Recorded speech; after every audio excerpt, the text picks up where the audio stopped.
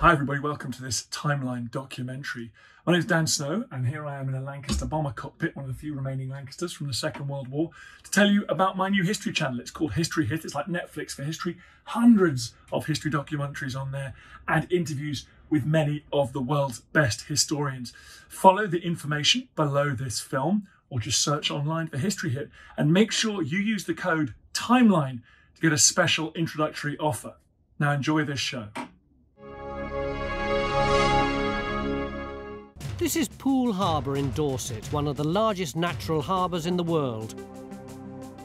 Today it's a haven for waterborne pleasure seekers, but archaeologists believe that 2,000 years ago this was a very different place.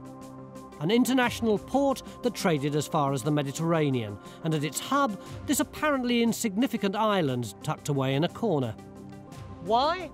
Because Green Island, where I am now, has produced some remarkable archaeological finds. Coins, masses of pottery, including high-status foreign ware, and evidence of iron smelting and shale working. So far, so good. But this island has never been thoroughly excavated. And if we're going to prove it was the Dover of its day, we're going to have to come up with something much more substantial. And as usual, we've got just three days to do it.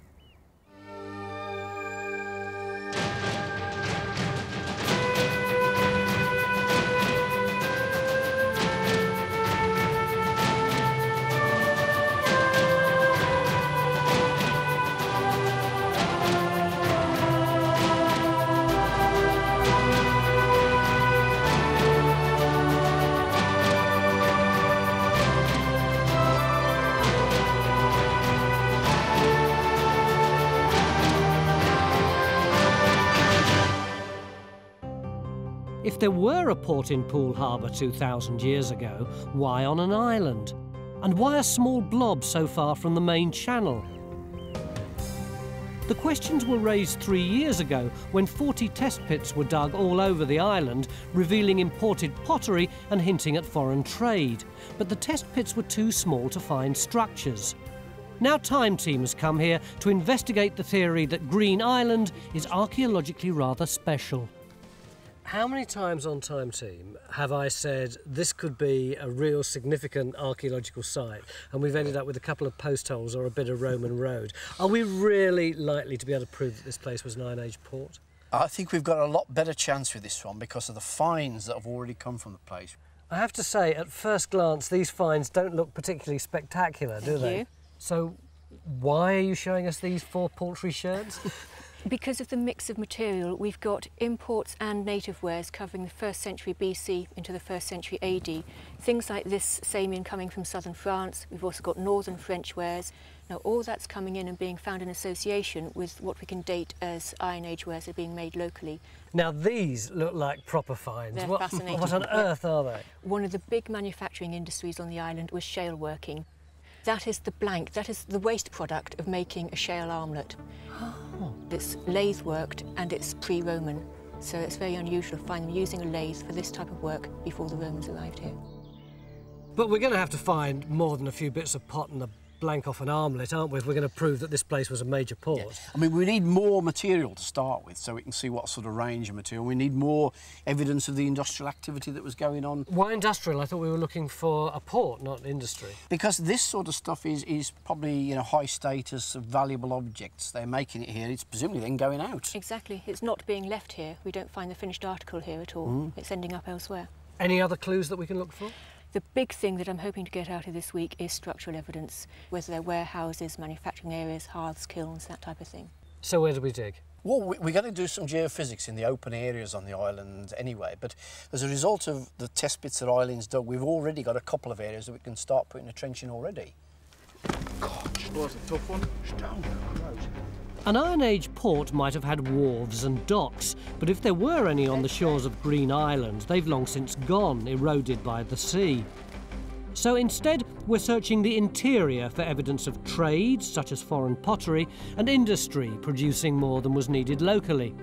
We've targeted two areas Trench 1 near test pits which revealed domestic debris, can fill Fine Settlement, and a second area here where Eileen found worked shale and iron slag. Could this be where exports were manufactured? Time Team doesn't often dig on islands, and as you can imagine, getting us and the gear over here created quite a few larks. But once we're here, it's incredibly quiet and also very beautiful. There's loads of honeysuckle and mountain ash and chestnuts and these huge rhododendrons, which I think are going to create quite a few problems once we start digging. Uh, and there are a lot of ticks as well. Because of its ecology, the island's a triple SI, a site of special scientific interest. And that's going to create some practical difficulties. Mechanical diggers are out, so we've got to dig by hand. And we've got to keep the topsoil separate so that it can be restored when we backfill to preserve the ecology. A lot of the archaeology Eileen found was a metre down, so Phil and his army will have to shift a lot of spoil. And Geophys are also having to adapt to the terrain in their hunt for the industrial area. John, I have to tell you, there's been a certain amount of grumbling from your team about the fact that you're making them use such cumbersome equipment. It's actually because the archaeology is so deep here. We won't reach it with the normal instruments. Um, it's meant to be about a metre down. So this is ideal for sorting out that problem. What is that Um, machine? Well, it's a magnetometer, the same as this. And what does it read? It reads magnetics, and so it will pick up ditches and metalworking areas and pits and so on, all the sort of archaeology we expect here. It's just not very good where you've got low branches. I think we should stop talking and just watch Claire for a few minutes. It's good entertainment.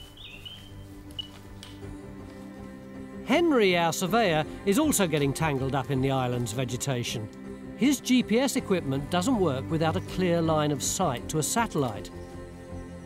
And Stuart, our landscape archaeologist, looking for telltale lumps and bumps which might say something about the island's past, well, he's just looking lost. But the good news is that already the archaeology is promising.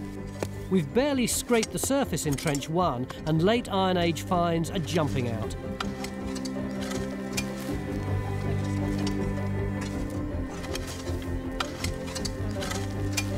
That's a meaty it, eh? That's a serious piece of part, isn't it? Among Eileen's finds was a lot of worked shale. It's an easily fashioned oily rock which is found locally. Until recently, no one knew what to make of these rounds with square holes in them. For centuries, antiquarians looked at these and thought it was money, and they were given the name coal money. They thought it was the trading tokens that the Phoenicians brought over, Made out of coal. made out of coal, exactly, the, the oil shale. And it wasn't until the 19th century that they looked at it again and looked at the working marks and realised that no, something else is happening. How did they get these squares out of the middle? They'd use tools similar to these and hollow out the centre core. What's this extraordinary looking? It looks like a huge nut off a massive 19th century industrial machine. That's a rough out for a bracelet. If this had continued to be worked, it would have been narrowed down and it would have ended up as a gorgeous black bracelet. Whenever we look at finds, there's always one on the table which is so fantastic that I know it can't possibly have come from our site. You are completely right. It's first century AD. It's a Romano-British dog bowl, we call them. Um, this is from Eggardon Hill in West Dorset, but we have a tiny sherd of one from this site, again excavated earlier this season, So we know that things like that were in existence here. and complete at one point. Eileen's belief that Green Island was a port or part of a port isn't just based on finds, but on a massive feature first identified three years ago. Two huge jetties in the channel between the island and the mainland. They're now under mud and only just visible at the very lowest tides. When they were originally found, it was thought that it was a continuous causeway really connecting Green Island really to the mainland. Mm-hmm. And they found, just as Victor's shown here, there's a 70 metre gap just at the deepest point, so shipping could presumably pass through the middle there, but it's not one continuous feature. What, what are they made of? These are a series of, of oak posts, about 25 centimetre diameter, with uh, sharpened ends which have been driven down uh, into the bottom of the harbour.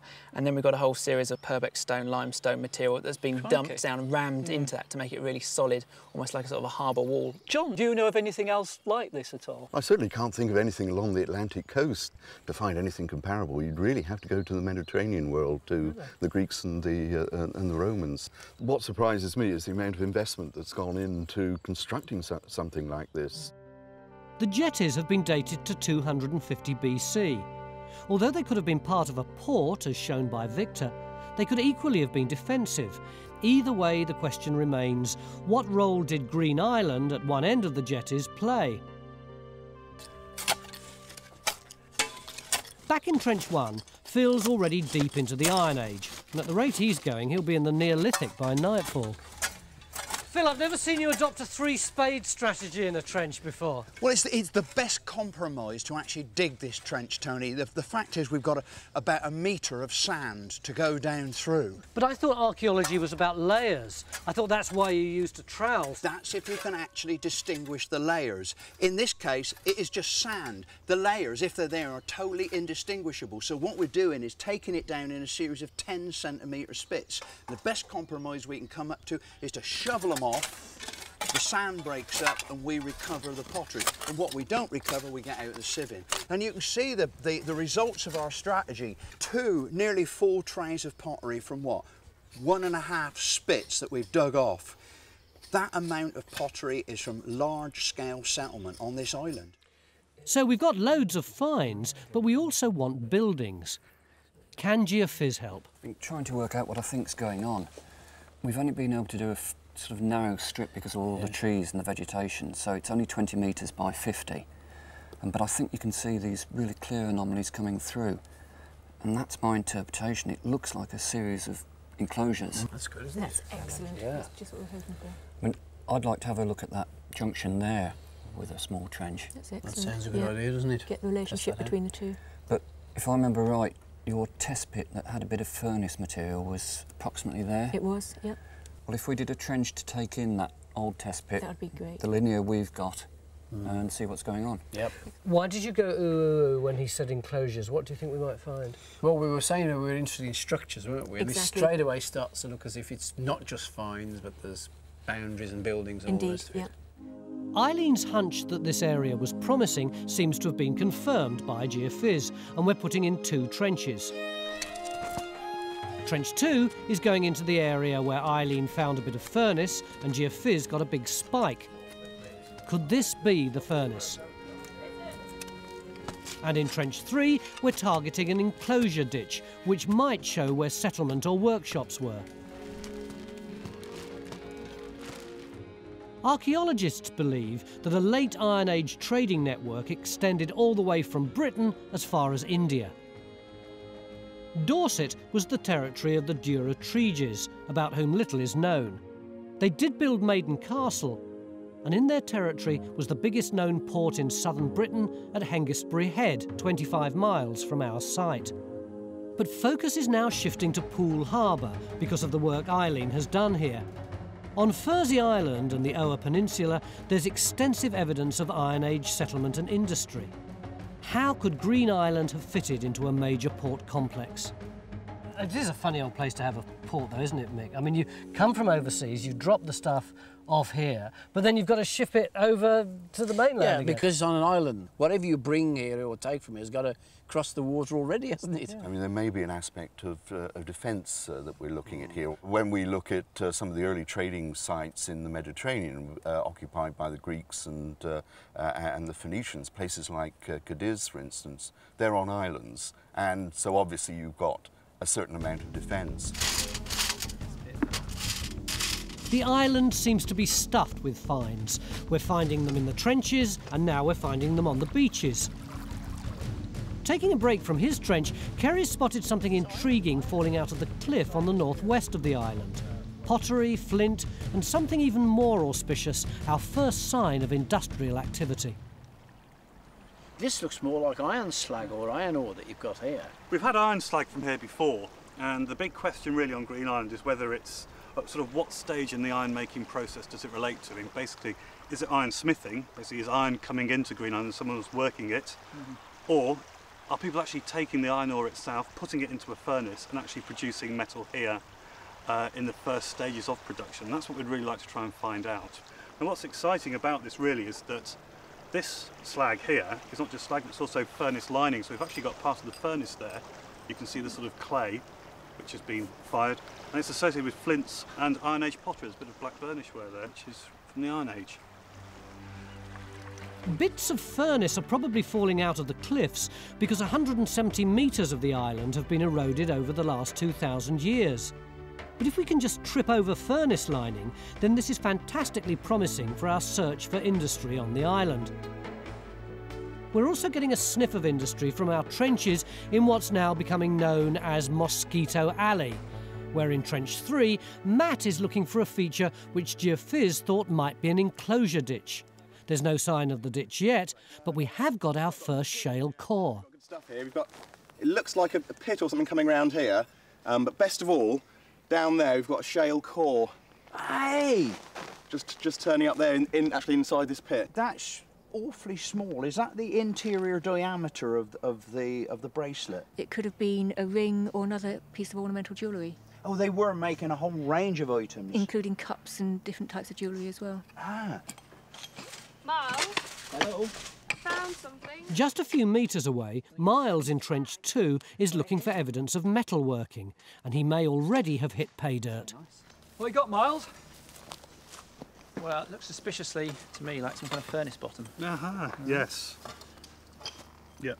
That's that's a smithing hearth bottom, so that's that's what you get at the bottom of the furnace. Mm-hmm. We were talking earlier about smelting mm-hmm. and smithing. Well, that is the sm- comes from the smithing stage. Once you've got your metal, Yeah. you started to work it and actually turn it into useful artifacts. All right. Does that mean that that smithing is taking place in this trench where this has come from then? It's taking place somewhere in the vicinity. but It doesn't Right. tell you exactly where it is. We can't be certain that it was taking place in the exact find spot to Well, what, what would tell you the exact Well- find spot if I finding it sitting in the ground? Right, well, the thing we really want to try and look at is hammer scale. Now, when you're working iron, Mhm. the outside surface tends to form this crust, and when that sort of falls off, as you forge it, it sort of creates a Oh, sort so of, all sort of sparks it's will flying sparks off flying that everywhere, sort oh, absolutely. right, right. And that, that- yeah, that's, that's yeah. called hammer scale. And the hammer scale tends to stay where it was Right. made. So if we can identify areas with high concentrations of this, Mhm. then we can basically say that's where smithing was taking place. This is tantalising evidence that somewhere near this trench there was a blacksmith's workshop, which would be a major find. The search is now on for the structure itself, and of course any hammer scale would be good to find. Phil's getting very excited by what's coming out of Trench 1. Phil, is that just a scatter of stones or is it something more significant? This is definitely something more significant, Tony. Ooh. This is, is a pile of stones, but the important thing about it is it's actually got some shape to it. Look, there's a deliberate straight line along there. There's another one going out there. This is not just a pile of stones that have come down at random within the, within the hill wash. This is a deliberate pile of stones. And I honestly believe that we are looking at an Iron Age or Romano-British surface, just like you're sitting on a surface now, maybe 2,000 years old. Could this be a structure rather than just a path or a floor? I don't think it's it's a structure, but I'll bet you there's a structure very, very close. Any more finds? That I think is our best piece of dating evidence. That is the core of a lathe turned shale bracelet. Ah. And the association of that with the with the stones and all the pottery around it, I think confirms that this pile of stones is Iron Age or Romano British. Mick, has anything like this been found on the island before? No, nothing like this has turned up, and it's exactly the sort of thing, structural thing that we've been looking for. We said we wanted a profusion of finds. Looks like we've got a profusion of finds. We said we needed structures. We may well have structures. But does it mean we've got a port? Join us after the break.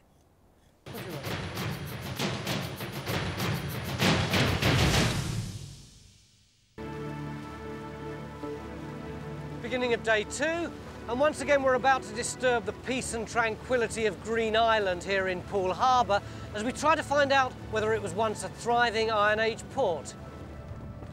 In our effort to get to grips with what was happening on the island 2,000 years ago, we've got three trenches open, each targeting a different key feature. In Trench 1, Phil's trying to find out whether his pile of stones is the first structure ever found on Green Island. On the way, he's finding more shale cores. We know that metal was being worked on the island, and some of that evidence has come from Trench 2. What Miles wants to find is the furnace itself. But so far this morning, all we've had out of the trench are shale cores. Ta-da! Perfect. Well, that's it. We've got another one. Wow, that's lovely. That's complete. If this was a port, the island would have been crisscrossed by enclosure ditches, and that's what Matt's hoping to find in Trench 3. But guess what? Oh, is that more rough out for a shale bracelet? The manufacture of highly prized shale armlets and jewellery was obviously happening all over the island, probably for trade. Jake Keen is going to attempt to make a replica Iron Age armlet. Though shale's easy enough to work and polish with modern power tools, it's altogether a different matter with the tools available 2,000 years ago. So what are you going to do to get your bracelet out of it? Select your lump, split it, and then uh, see how you go from there. Show me how to do that then. Okay, let's have a go. God, it does smell a bit, doesn't it, really? Yes, that's the It's- oil in it. Oh, look at that. Let's scribe this. Yeah, that looks about your size, all right? You reckon? Have you ever seen this done before, Sean? I haven't, no. It's, uh, I mean, you dig these things up and you think, well, I know what this is, but you don't really, because until you've actually seen it being made, it's, uh, Oh, but it it's- just brings the whole thing to life, really. Some funny old stuff, isn't it? The other key industry that we're trying to bring back to life is ironworking. And in Trench 2, they think they may be closing in on the Iron Age furnace. Raksha, suddenly we're digging big holes in the middle of the trench. What's this? Well, it's quite exciting, really, because um, we sectioned this feature off to see whether it would be going down. Yeah. And uh, found this really nice vertical edge here. So hopefully it's part of the furnace. How can you tell the difference between here and, and, and here? Because it looks exactly the same colour to me. It's more by feel, really, because this is very loose. Can we speculate what this might be to do with the furnace yet? Not yet. it's early days yet. If this does turn out to be part of an Iron Age furnace, it'll be the first one ever discovered in situ. Brilliant though that would be, it won't tell us why they were smithing iron on an island. But how much of an island was it 2,000 years ago? Green Island is quite a small island now, but was it like that in the Iron Age? No, it wasn't. It would have been larger if you drain the water down to about two metres below its present level, which is probably where it was, the sea level was. How do you know it was two metres lower in the Iron Age? There was a, a Roman site just on the north side of Brownsea, which indicates the water level must I have been about that sort of level. Our site was part of a much bigger island that took in Brownsea and Furzey Islands. Present day Green Island was the bit that was closest to the navigable channel. But frustratingly, we can't look for wharves or quays or other direct evidence of a port because they're not there anymore. About 170 metres of quay seafront near the jetty are now underwater because of erosion and rising sea levels. We're finding industry because we're digging in areas that were well inland. How's Phil's structure coming on in Trench 1? There is good news and bad news, really. Yeah. You remember last night we had a big spread of stones? All the way over here. That's yeah, right. yeah. Well, they are the stones that's on the spoil tip behind you now. Oh, yeah. Firstly, there are quite a number of flint nodules. I think that these nodules are the raw material to make the tools to work the shale. We've also got plenty of examples of work shale. We've actually got a shale working site. The other stones are this, this very coarse ironstone. Now, they break this up to include in their pottery to actually temper the pottery. We've also got pottery making as well. And I think that what we were looking at was a dump of raw material. So when I was trying to push you about whether this was a structure or not, hang on, it's got a mosquito on you, and you refused to be pushed, actually you were right, there wasn't a structure here. I didn't think there was. But we do now have a structure. Look at this superb series of pitch stones running right the way across. Also, look how different the soil is on this side. See, it's got all these bits of stone to on this side, where you've actually got much darker material with quite a lot of bits of charcoal. So what does that imply that this is? That implies that this is a deliberate edge, possibly a terrace, some form of revetment. Perhaps, perhaps this is uh, uh, the the edge of a building. I, that I don't know. So, though we've lost one possible structure, we've gained another more definite one. We're ahead. We've got four trenches open, producing a flood of finds, and now the archaeologists want to open another. Geophys have been sent into this area in the middle of the island, but they're going to have to hang on a tick. I imagined that the most useful implement on the island would be this, but it's not. It's this. It's a tick tool, and uh, I don't know if you can see this little black dot there. That's a tick. And what you have to do is you press the tool into the flesh along here, run it all the way up there, like that, and then turn this thing round anti-clockwise 180 degrees, like that. Dead as a doornail. But if you think I've got ticks, it's nothing compared with Geophys. How many ticks do you reckon you've had between you in the last day or so? I think about 36, but I'm not showing you where. So why have you got this poor masochist into this part of the island? It's because we now have an opportunity to investigate this meadow area that hasn't been looked at by anybody before. But we know from the test pits that we've dug just down the slope there, it all seems to be centred on this area here. This could be the hub of all the activity. And the main thing about this area from our point of view is we're confident there's been no bonfires, no burning of the rhododendrons, no rubbish pit. So hopefully a, a clear area for us. And hardly any trees. Yeah, and no ticks, I hope. John Gater's not only having to contend with what's lying underground, but what's on the ground. They're acting as if they own the island. Well, actually, they do. I can see you're enjoying your lunch, but I'm afraid I'm going to have to ask if you could move, if you don't mind. Would we mind moving? Jo Davis has owned the island for over 20 years. She's keen to safeguard the beauty and tranquility of the place. Unless you want to do the geophys for me. Whoa. Yeah, that would be fun. You'll probably get better results. The family has never allowed anyone to explore this close to their house before. In Trench 2, the archaeologists were very excited about the feature they thought might be a furnace. Miles? Hello. Um, your furnace feature looks remarkably square. It is, isn't it? It's almost exactly uh, one metre square. Why is that? Well, it is a funny thing, Tony. Um, it's very rare in British archaeology when you dig a feature, are you able to say who dug it, uh, when they dug it, and for what reason? And we can say all three things here. Which is? Um, it was dug uh, about four months ago. Um, we know the names of the people who dug it, and uh, we know it's an archaeological test pit. It's the one of Eileen's It, test it is, it is. We were fooled essentially at the beginning with the fact there's one or two Iron Age uh, pieces of pottery contained within the fill. But presumably you've still got a bit of something here. There is. We've still got this, this patch of clay, and you can see it in section here. So it is. This is actually something archaeological. So we can still investigate this. The good news is that there still might be a furnace in this trench, and we've still got time to dig it. 20 metres away, Matt in Trench 3 is looking for an enclosure ditch and has come down onto natural geology that, unusually for Time Team, can be easily seen.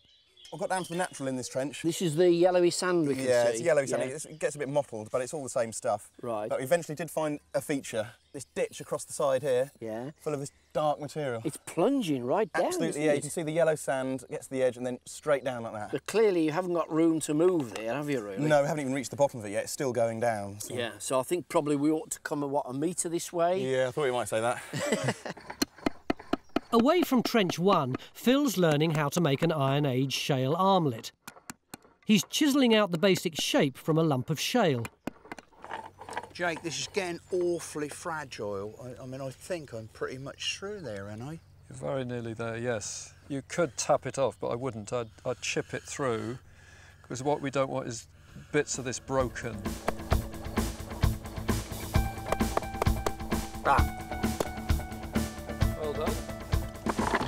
The shale's now ready for turning on the ingenious foot-driven wood lathe, to be shaped by flint tools knapped by Phil himself.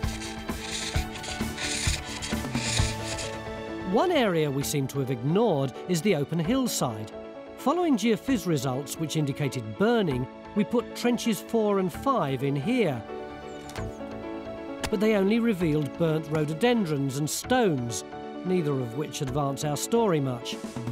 But geophys have persisted and now have more results from this area as well as for the meadow and the lawn, both previously off limits to archaeologists. Are there targets there and will we be able to dig for them? Right, here's the last key area, I hope. Now, So where- where have you done? Where Can you are show we us on now? here?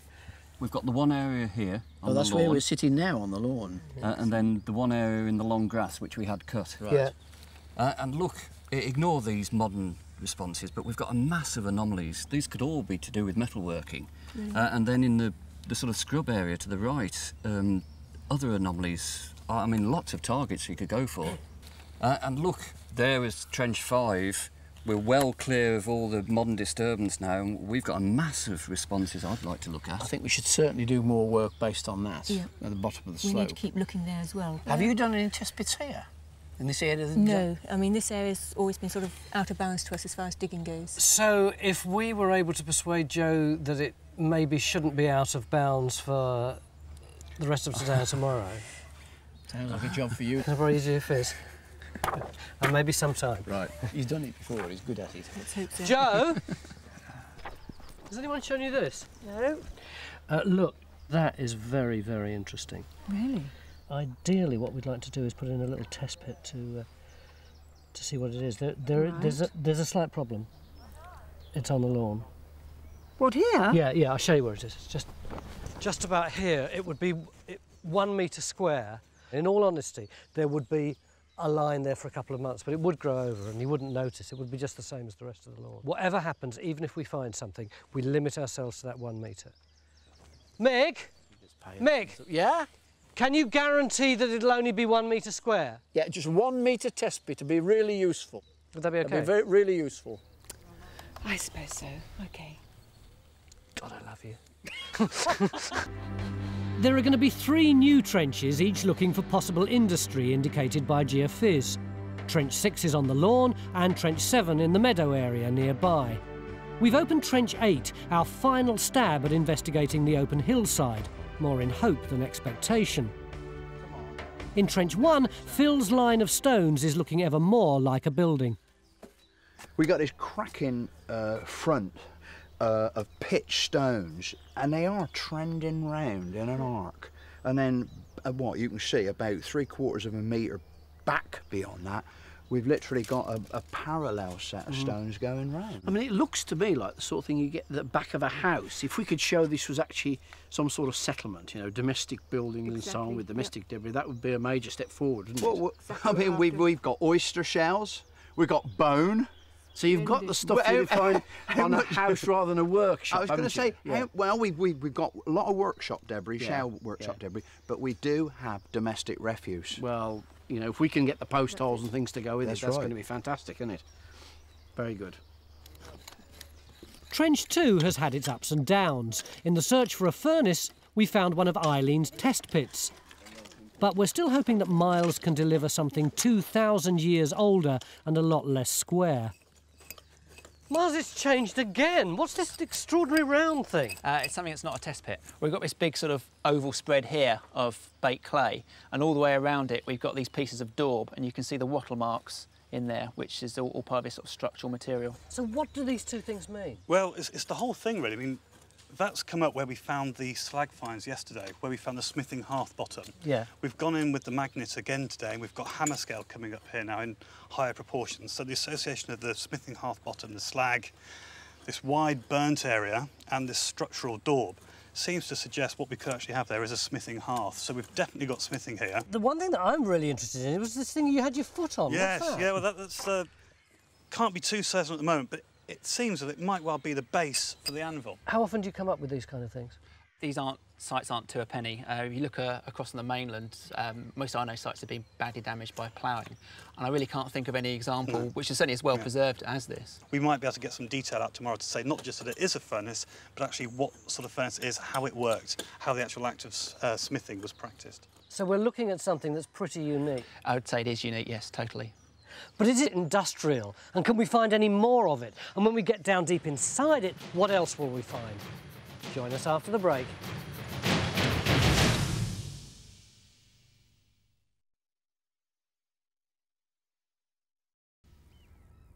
Beginning of day three in our search for an Iron Age port here at Green Island in Poole Harbour, and our trenches are really starting to come up with the goods. In Matt's trench, we've got what appears to be an Iron Age ditch, probably second century BC. This is my favourite trench. We've got a furnace here, we've got bits of a wattle and daub wall, we've got what appears to be part of an anvil, and you want to extend now, don't you, Miles? God, yes, yeah. We've only got uh, two thirds of the feature really in, in the in our trench. We really need to get all this out. Out and get the whole thing in plan. Big square here. Definitely. But that's not all. 30 metres away in Phil's trench over there, he's got a big line of stones which he thinks might be part of an Iron Age roundhouse. So he wants to extend that trench too. And we're putting in a new test pit over there because of some of John's geophys. We've already put in a test pit here, slap bang in the middle of the lawn because another one of John's spikes. And through the trees, we dug a trench yesterday, which we're still finishing, and we've got a brand new trench there as well, which is a heck of a lot of new trench for day three. So the pressure is on. Our key targets are the Iron Age industry that went with the port, metal smithing and shale working, as well as evidence of settlement. Next to Phil's roundhouse, he's now found cracking evidence of human occupation. Bone. The only bone we've had has come from a waterlogged deposit. We've had nothing from the dry soil like this. Is that because the sand is so acidic Exactly, that it's yep. actually destroying the bone? Yep, it's heathland soils and it degrades everything that's in there. So these pieces of bone are potentially really important. Do you know what sort of um, species it is? I'm not absolutely certain, but it looks mostly cattle to me. That's great because that matches exactly the type of bone pieces that we were getting from the waterlogged deposit, which was cattle, sheep, also a bit of duck, but it's all animal that was very good eating. So that is really good new information about the people that were living here. In Trench 2, they've drafted in John Gater to check whether they found an anvil and whether there was more than one furnace here. That's definitely the only polyfired stone. There's nothing else around that at all that's, that's giving a high reading. No, average readings. It is an anvil, but just the one furnace. Chief Apprentice Phil is tied up in his trench, so the apprentice's apprentice has come to lend a hand at our shale works. They're trying to carve the inner core out of the armlet. It does tend to wander, doesn't Yes, it? that, that, what I'm trying to do at the moment is get that groove in the right place. So, How long is it going to take to uh, Well, carry on like this? I reckon you've got two or three hours. Oh my God. Um, So that's the rest of Mick's day sorted then. Back in Trench 1, Dee seems to be breaking all the rules of good trench keeping in pursuit of a huge lump of shale in the section. Oh my God, it is going, isn't it? Yeah, it's. Um, I think it's going a bit far, really, for us to continue doing this. No, Still I, haven't d- I found mean the we back got end. we got to get it out. I don't care. I, I don't Yeah. care how big a hole you, You have want to me to do. just go for I don't it? Care. You, you, we, we, we can't afford to lose that big piece. Good well done. You want to put it straight in there? Yes, please. This huge piece of shale would have been the raw material for making an armlet. God, that is a big old piece, isn't it? eh? The archaeologists have never before been allowed to dig near the house in the middle of the island. We're hoping that Trench 6 in the lawn and 7 in the meadow will give up more of the island's secrets. Dan, have you found whatever it was that caused the geophysics spike here? No, not yet, but um, nowhere near the bottom, I don't think. But look at this. Ooh, that's, Samian, nice. presumably. That's Samian, yep. Uh, late first, early second century. That's your import. I think uh, whatever you're doing, stop doing it and come down to trench one now, please. OK, coming. Do you want to have a look? Let's go. You know, we were talking about just how well preserved the bone Yep, was. yep. Who would have thought amongst that well preserved bone, two fragments, a Yep. human skull? Look, Definitely. there are the sutures where the plates are all joined together. We're 99% certain that is human skull fragments. Do you think it was just discarded here, or do you think it could actually be part of a burial? No, I mean, it's not unusual to get fragments of, of human remains in Iron Age features. But was it on the surface or in a cut or anything? Well, funnily enough, if you look down in the bottom of the hole here, the bones came from right down in the bottom, in that black stuff. Yep. But you notice there is this very, very white coloured sand, the natural sand. But it looks like we've got a, a possible ditch or a shallow feature running through the middle of the test pit. It's early days yet, but we could well have a, a ditch with the human bones in it, Yep. predating this, this stone-built structure. But Phil, if there's a ditch in front of the wall, does that reduce the chance that we've actually got an Iron Age hut? Not at all. It may even actually increase it. This could be the foundation slot, the actual foundation trench in which the building stood that fell down and then at a later stage it got filled up with domestic rubbish and bits of bone. The bees are busy, the diggers are busy. All over the island, there's the steady scrape of spade on sand. At our own industrial site, after endless grinding of the shale armlet, a critical moment approaches. First apprentice Phil has had to drag himself away from his trench for this crucial operation, breaking the armlet away from the core. Oh yes! Hey, hey, look, look, look, look, look, look, stop! Look, I can see daylight. Look, there it is. I, can see. I can see you. If the armlet's broken, hours and hours of scraping and polishing will all go to waste. Yes. oh wow!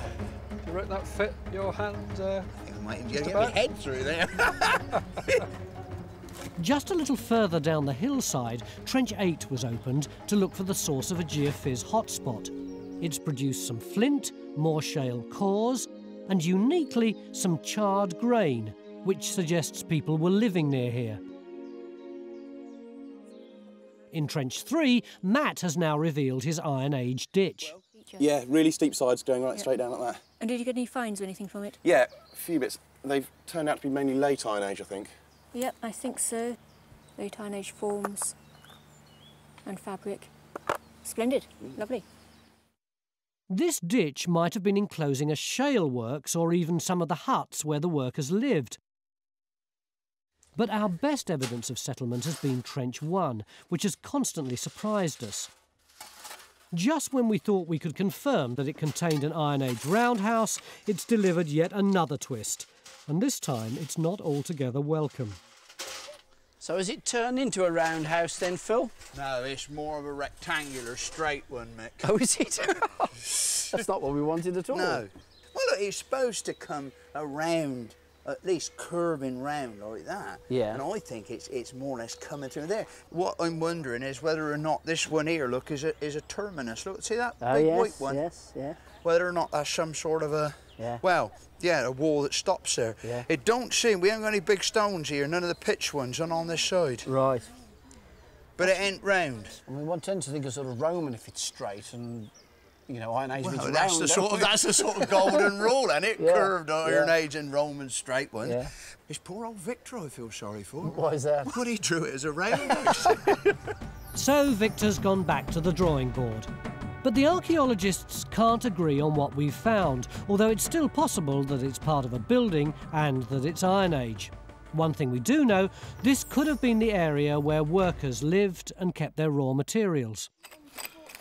In Trench 2, they desperately want to reveal the Iron Age furnace that was part of the smithy before the end of the day.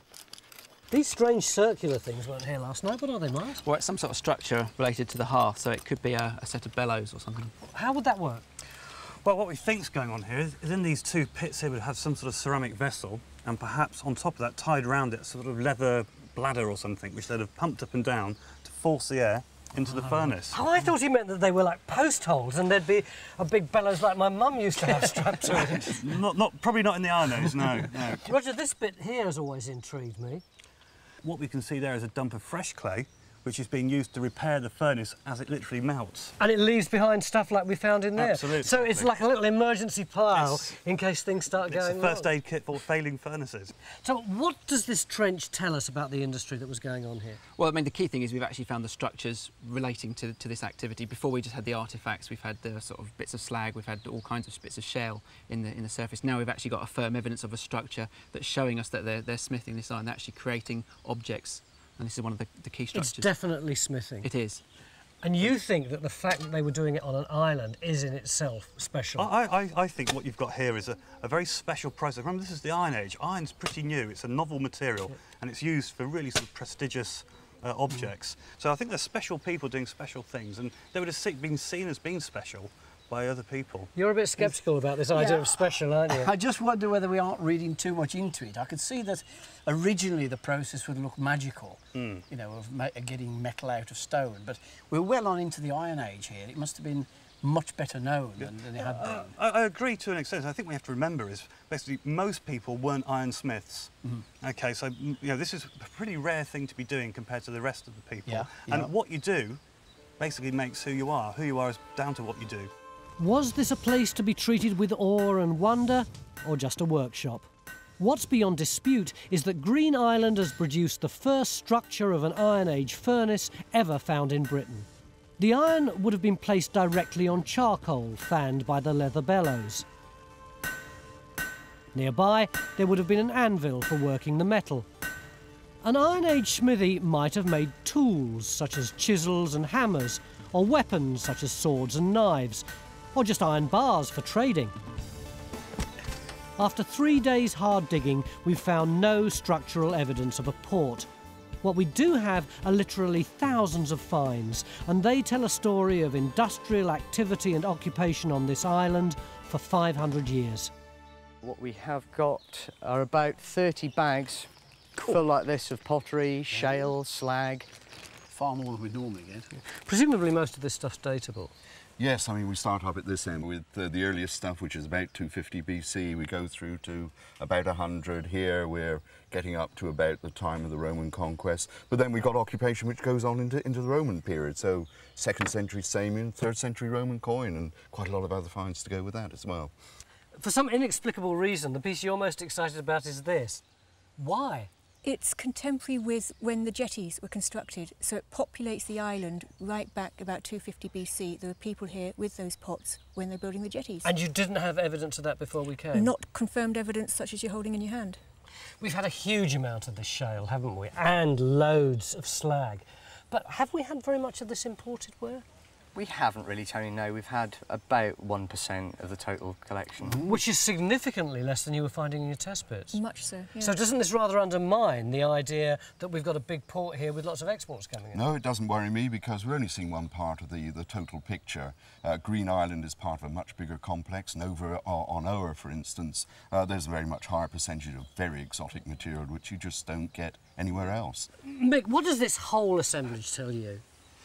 I think what it's telling us is that we've got to start thinking of Poole Harbour as some sort of, you know, big, not only Iron Age industrial centre, but, but probably another port that's of international importance we hadn't allowed for. So when I came here looking for a port, it wasn't that there isn't a port here, it's just that it was part of something much bigger. That's right. I think it's the whole of Poole Harbour itself. You did give me quite a hard time in those negotiations, didn't you, before you let us dig this test pit? Not hard enough, really. Oh, come on, it is beautiful. And we didn't extend it. It's a lovely piece of work, isn't it? Yep. And it was worth it because of the finds, which are quite spectacular. There's this uh, whiskey bottle. Right. That's probably mine. What about the uh, glucose fizzy drink Yes. bottle? but thanks for letting us dig it. And That's also, okay. thank you for letting us share your lovely island for three days. And by way of thanks, we would like to give you this. It's just like the bracelets that they made here 2,000 years ago. That's really beautiful. Thank you. I should treasure it. It's amazing to think what was happening on Green Island 2,000 years ago. There may well have been wharves here which have been lost to erosion and rising sea levels. But the island was undoubtedly an industrial site, a leading producer of shale ornaments and iron artifacts. Looking at it today, tranquil and cut off, it seems extraordinary to think that there would have been the hubbub of industry everywhere. It would have been a different world. But there would still have been ticks.